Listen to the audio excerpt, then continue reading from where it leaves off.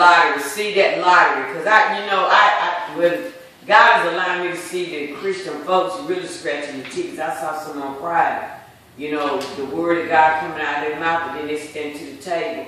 And I saw them scratching those lottery tickets. That is not a God. Their hope is not in God. Their hope is in winning that money. So they don't lost their faith in God. And see, you can lose your faith in God when you start putting your faith in other things like people and money and cars and houses, you know. And then when these things leave you or don't be there when you need them, then you, then you lost all hope. And that's what a lot of people dealing with. They don't have that hope like we used to have. You hear me say, wait. Mm-hmm. No, it's confidence that will that, that God will do what he said. We got to have confidence in God. Because God to do just what he said he going to do. I'm just reading something to you um, this morning.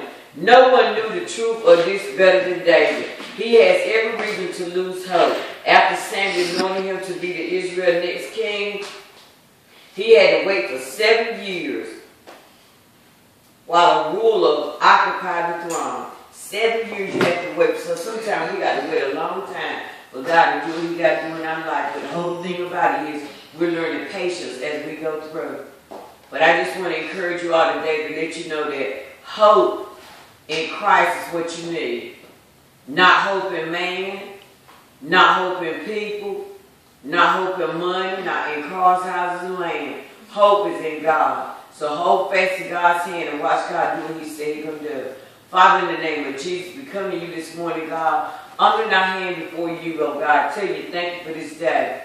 But we know that this is the day that you have made, and we're going to rejoice and we're going to be glad in it. God, we give you praise, we give you glory, we give you honor, God. But Lord, we ask you now, God, that you forgive us of our sins, God. Lord, help us, God, on this journey, God. But sometimes we get weary at the things that we're supposed to be doing, God. But Lord, you help us, God. And Lord, you strengthen us in the areas that we may be weak, oh God. And we just tell you thank you, God. We thank you, God, for being our hope. We thank you, God, for being our keeper. We thank you, God, for being our healer. We thank you, God, for being our deliverer. And most of all, God, we thank you for being our guide and our protector, oh God. Lord, you guide us, God, down the path of righteousness for your name's sake, God. And we know, God, that you're going to protect us, oh God, as we go down that path, God. And for that, we just tell you thank you right now, God. Lord, on today, God, do whatever you will, whatever you may, God. In this place, God, use us, God, for your glory, God. And we just tell you thank you right now, God, for the ones that's on their way, God. We ask you for road mercy right now in the name of Jesus,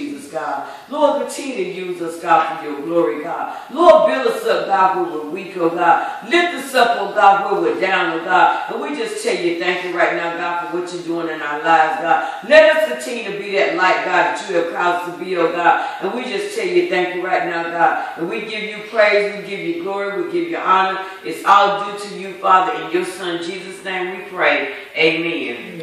Amen. We're going to talk about communication this morning. We're going to talk about communication. Because sometimes lack of communication um, will cause a whole lot of problems uh, with people uh, as far as, you know, like um, anything on your job, at home, in school, wherever you at. It could be a lack of communication. It could be something as simple as one word.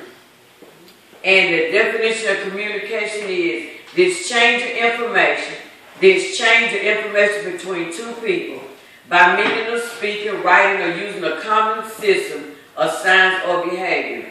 A spoken message, a spoken or written message, the act of communication, the communication of information.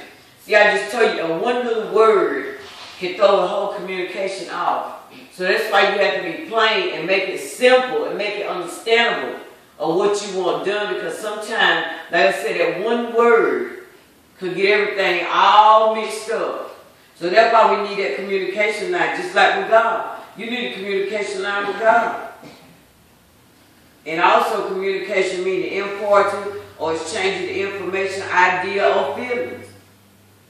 See, sometimes people feel it though, sometimes people don't have a way of expressing how they feel. And sometimes they act it out a lot of times, you know, because the words, you don't know how to really find the words to express how you feel. So sometimes you act out to show a person how you feel. I know children do that all the time.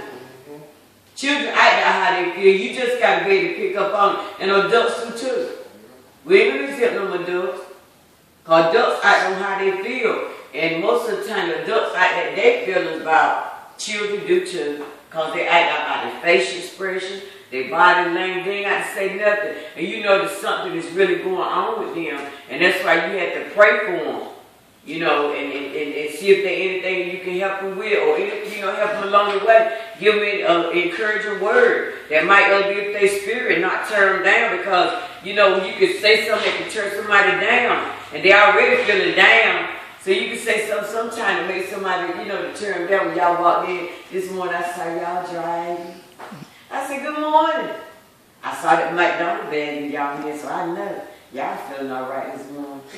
How about it? Y'all feel good this morning? That's good. And that's a good thing too, is coming in and, and, and feeling good about yourself. So that's how you had to be. You had to feel good about yourself no matter what. You hear me? How you doing, dear? Good. Got that smile on your face, boy. Okay. Words play a key role in almost every conflict. Words. I just said it a few minutes ago about your words. When used properly, words promote an understanding, encouragement, agreement.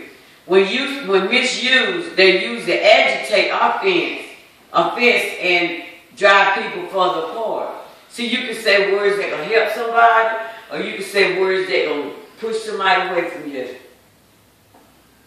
When I do the Sunday school lesson this morning, see if you can't take it and apply it to your life and see where you are in this Sunday school lesson this morning. And use it to help build yourself up in those areas that we might be weak in and somebody else might be weak in. Use this word to help somebody. With God's help, we can improve our ability to communicate the truth, yet in a spirit of love. Ephesians 4 and 15 talk about that. Let me get the Bible to go there and read for you right